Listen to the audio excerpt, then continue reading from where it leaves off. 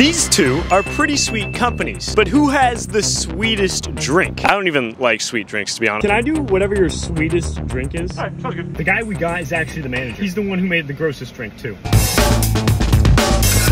He's really good. He knows what he's doing. Thank you so much. Honestly, this is looking pretty good. Dunkin, at this point, I don't know how many you've won versus how many you've lost, but I believe in you. So I just went over to Starbucks and asked them for their sweetest drink. Can you guys make your sweetest drink in an attempt to beat them? Sure. He sounded really nervous. I hope that's sweet enough for you. Thank you, yeah. Taste test time. Honestly, it's really good. Like, it's sweet, but it's not enough to give me diabetes, and that's what we're looking for. I think, I think Dunkin just used me to advertise their new drink. Fair play. oh! Diabetes inbound. Do you see my eyes watering? I'm like crying. Okay, Dunkin wins it.